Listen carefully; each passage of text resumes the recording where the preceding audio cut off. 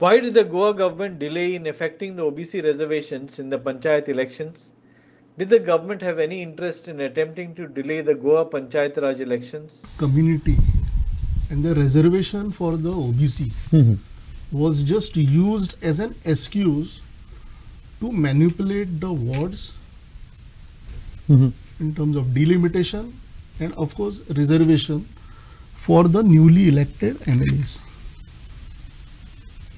They needed time to break the wards for their probable candidates who will be contesting the panchayat elections so that it facilitates their victories I think the government wanted to control the local bodies.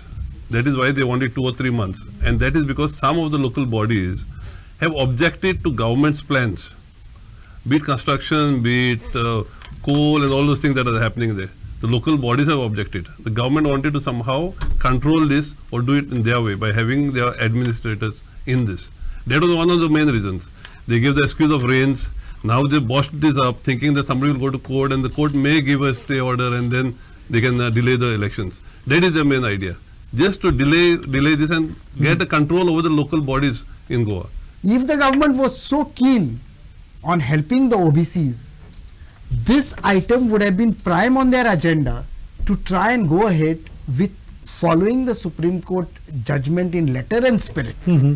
to get these reservations done in time because the elections are coming and everybody knows that on 19th June 2022 the term of the five year panchayats is going to end. This has not come from as a bolt from the blue.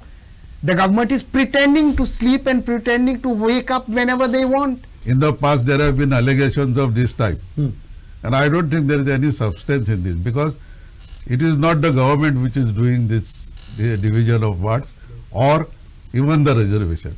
It is the domain of a state election commission which is a duly constituted constitutional body. And I don't think they will uh, try to, you know, take any interference from the government.